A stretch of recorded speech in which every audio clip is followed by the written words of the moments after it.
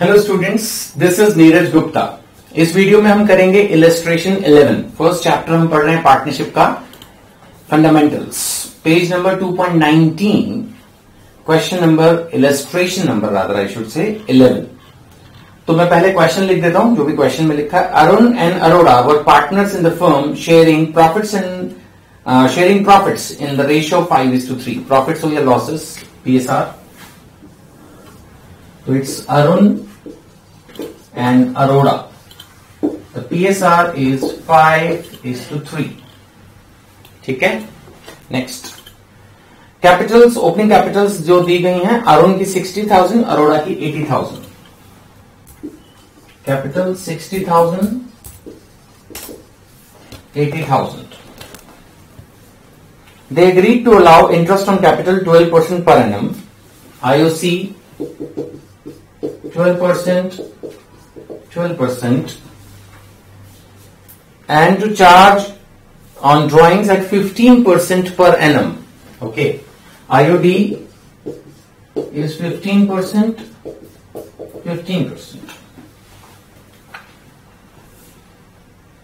profit Profit of the firm for the year thirty first March before the अब adjustment was twelve thousand six hundred यानी ये जो दो बातें अभी बताई मैंने आईओसी और आईओडी इसको अगर हम इग्नोर करें, फ़िलहाल मतलब इसको कंसीडर किए बगैर, मेरा प्रॉफिट जो है that is profit before adjustment is twelve thousand six hundred चलो, ठीक है।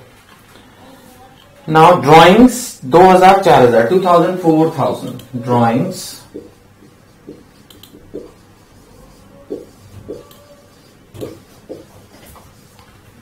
drawings is 2000 and 4000 respectively.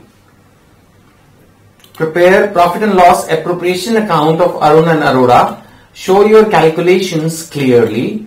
The interest on capital will be allowed even if the firm incurs a loss. Hmm? Last line is very important. It says the interest on capital will be allowed even if there is a loss. यानी IOC आपको allow करना ही करना है इस question अब ये बात अगर हम देखें तो इसका मतलब तो ये चार्ज हो गया। Then it is in the nature of charge this IOC is a charge यानी it will be allowed whether there is a profit और नॉट अब हमने जो पीछे पढ़ा कि profit before adjustment is twelve thousand six hundred तो इसका मतलब फिर ये एडजस्टमेंट तो करनी पड़ेगी। We are bound to do it it's a charge इससे पिछले क्वेश्चन में लॉस था तो मैंने उड़ा दिया था। कि नहीं नहीं इंटरेस्ट ऑन कैपिटल नहीं होगा सैलरी नहीं होगी। बट इस क्वेश्चन में बोला कि लॉस है, तब भी अलाउ करना that is the difference in two question okay तो फिर मुझे आईओसी कैलकुलेट करना पड़ेगा। अगर मैं आईओसी कैलकुलेट करूँ अरुण के केस में तो it is sixty thousand into twelve percent तो ये हो गया सेवेंटी टू हंड्रेड ठीक है ना? सिक्सटी थाउज़ेंड मेरी ओपनिंग कैपिटल है और ट्वेल्व परसेंट इसके अंदर दिया है। तो ये हो गया सेवेंटी टू हंड्रेड। अरोड़ा की कैपिटल ज़्यादा है। It is eighty thousand into twelve percent. ये हो गया नाइन्टी सिक्स हंड्रेड। ठीक है? मैं अपनी तरफ़ से स्लो पढ़ा रहा हूँ, आराम से पढ़ा रहा हूँ, फिर भी अगर आप इसको साथ साथ करने में दिक्कत महसूस करें तो वीडियो पॉज करके पहले जहाँ तक मैं करता जा रहा हूँ, समझते भी जाएँ, लिखते भी जाएँ। हाथ के हाथ आपकी वीडियो के साथ ही आपका क्वेश्चन कंप्लीट हो जाएगा। तो ये टोटल अमाउंट हो गया I think sixteen thousand eight hundred ठीक है?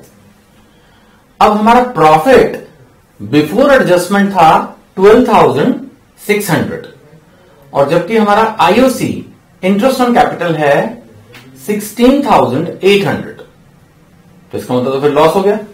अब मैं अगर इसका नेट प्रॉफिट देखूँ, इस साल का मेरा तो बारह हज़ार छह सौ में से सोलह हज़ार आठ सौ चला गया तो ये तो माइनस में फोर्टी टू हंड्रेड आ गया।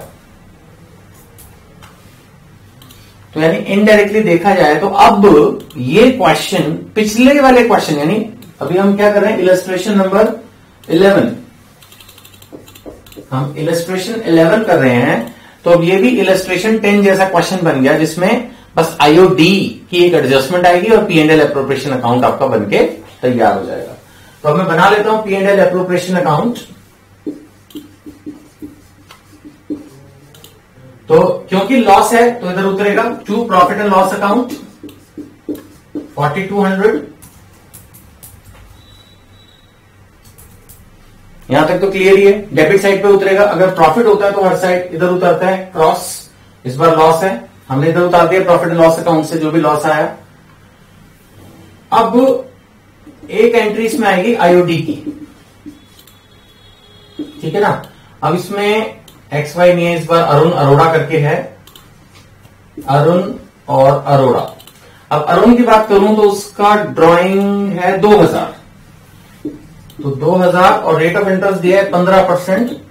मैंने जैसा बोला था, इसको मैं सिक्स बाई ट्वेल्व जो प्रिंसिपल जो रूल पिछली क्वेश्चन में लगाया था, वही मैं यूज़ कर रहा हूँ। कि we presume that drawings are in the middle of the year क्योंकि जब अगर डेट नहीं गिवन है स्पेसिफिक तो we have to presume that it is for half year जो इंटरेस्ट की चार्ज होगी, वो हाफ़ ईयर के लिए होगी सिक्स मंथ्स के लिए, जैसा पिछले क्वेश्चन में भी किया था। तो उसी रूल को यूज़ करते हुए 2000 का 15 परसेंट का वन हाफ़ ये हो गया 150 और अगर हम अरोड़ा की बात करें, चार हज़ार double amount four thousand into fifteen percent into six by twelve तो ये हो गया थ्री हंड्रेड यानी कि फोर फिफ्टी ये जो है इनकम हो गई फर्म को. इजी है आई थिंक इस बात को समझना, इसमें कुछ भी मुश्किल नहीं है. बिल्कुल अभी पिछले क्वेश्चन जैसा हो गया. तो एक तरह से जितना इंटरेस्ट ऑन ड्राइंग आया जितना इंटरेस्ट ऑन ड्राइंग आया फर्म का लॉस उतने से कम हो गया। रूटीन में इंटरेस्ट ऑन ड्राइंग मिलने से फर्म का प्रॉफिट बढ़ जाता है। बट इस बार तो लॉस है तो लॉस कम हो जाएगा। एक चीज़ माइनस में है, एक चीज़ प्लस में है। तो 4200 माइनस फोर फिफ्टी कहाँ करूँ? यहाँ कर देता हूँ। 4200 minus four fifty three seven five zero आ गया। इतना ही आएगा ना कैलकुलेटर कर लू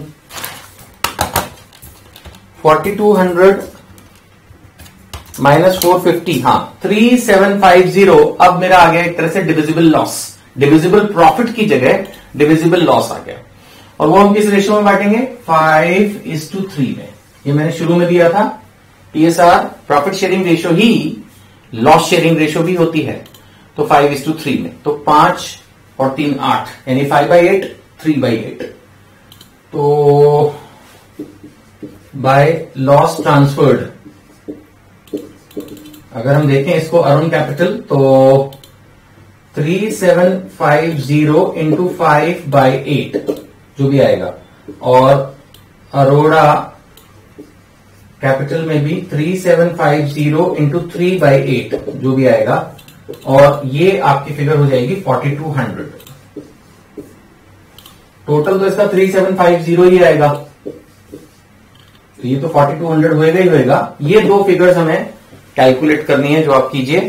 मैं कैलकुलेटर से इसको सॉल्व कर देता हूँ। Three seven five zero into five by eight two three four four और three seven five zero into three by eight one four zero six two three four four plus one four zero six is three seven five zero so this is my profit and loss appropriation account तो अगर मैं इसके answer को देखता हूँ तो ये इतना ही है। यही वर्किंग्स इसकी क्वेश्चन में दी हुई हैं और सेम जैसे मैंने सॉल्व किया है, इसको इन्होंने किया है। Right right? तो this is how this question is to be solve मैं देख पा रहा हूँ कि आपकी बुक में बजाय वर्ड कैपिटल के करंट और इस तरह से कुछ टर्मिनोलॉजीज यूज़ की हुई हैं। टी एस ग्रेवाल जिस बुक से मैं पढ़ा रहा हूँ is a great book but लेकिन अभी हमने फ्लक्चुएटिंग कैपिटल फिक्स कैपिटल ये करंट अकाउंट वगैरह का फंडा तो पढ़ा ही नहीं है। तो मेरे ख्याल से थोड़ा सा जल्दीबाजी में दिया हुआ है। अब हम उसके बारे में पहले कंसेप्ट पढ़ेंगे, फिर उस कंसेप्ट को क्वेश्चन में यूज़ करना शुरू करेंगे, तब आपको समझ में आ जाएगा, कोई खास इसमें फ़र्क नहीं है। है ना? तो चलिए ठीक है, इस वीडियो में इतना ही, फिर आगे नए कंसेप्ट के साथ आगे बढ़ते हैं। Thank you